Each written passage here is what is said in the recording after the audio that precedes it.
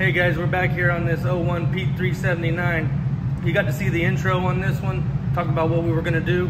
Uh, you got to see the frame, the before and after, the extensive amount of body work, rust that was on that frame. Um, I'm glad to be done with that part, so now we're on to the body. I've been in the other building painting on, painting on another 379 while the guys have been back here getting this one detrimmed and getting into the body work and just getting it ready for primer, which we're pretty close for primer now. So we want to go ahead and knock, get, knock this video out. So up front, went ahead and pulled these fenders off. They had to be fully sanded and body worked. All the clear, I think you can see in the intro, all the clear was off of those, had dents and, and creases in them. So it's easier to paint a 379 hood with these fenders off anyways. So we'll huck them back on when we're done. It had a fold, a crease in the hood where the tire blew before, and just the clear was peeling off everywhere up front here. So it leads into the back, or towards the center here, we had a crack in the fiberglass. We took the glass out, gonna replace the windshield, both of them. And he had, he complained about a water leak, and we thought it was the chicken lights up top, but it ended up being, there was a hole behind the glass. So we found that on Thursday. So we went ahead and treated all the metal, asphalted it, put some POR 15 in there, repaired it, let it soak over the weekend, and then cleaned it up, got it ready, so it'll be a good seal when the new glass goes back in there. The roof on both the sleeper and the cab, pretty spider webbed. It's all the way into the fiberglass. Customer doesn't want to have it re-gel coated or replaced, so we're just gonna put a bunch of primer on there, get some more years out of it. Uh, it wasn't a it wasn't a complaint to begin with, but when we got up there, we noticed it. So we got to sand it back pretty good. We'll put some high build primer up there. It'll be good to make sure the name's not gonna go back on the doors, so we made sure we got rid of all that. I'm gonna get a good prime on this. The whole truck's gonna get etch primed and it's gonna get 2K primed. For all the galvanic corrosion that happens on all these Peterbilts, where the steel hubs go into aluminum bodies, all the way around the sleeper, around every hub, it gets that galvanic corrosion, which is aluminum's version of rust.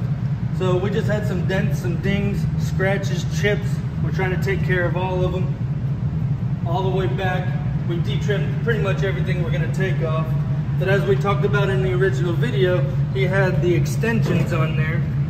And he had saw in a, another YouTube video somewhere else where they had cut all this off and left about three inches uh, going up it.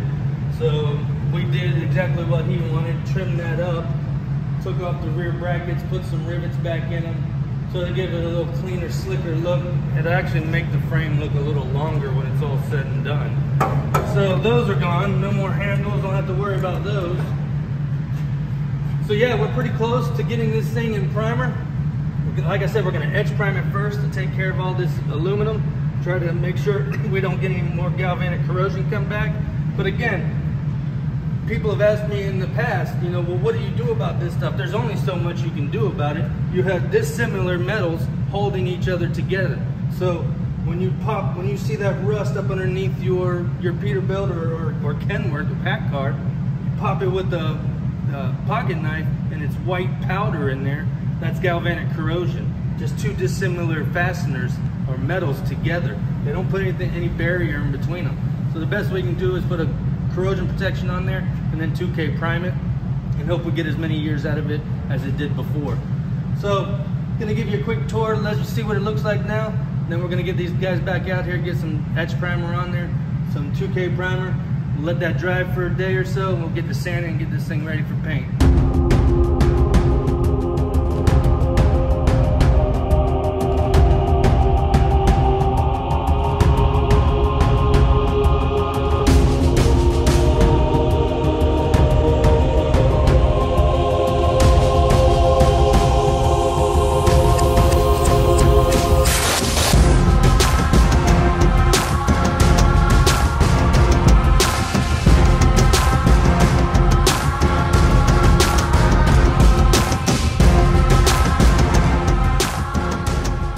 Right, as you can see, we got this in etch prime now. We went ahead and etch prime the whole thing.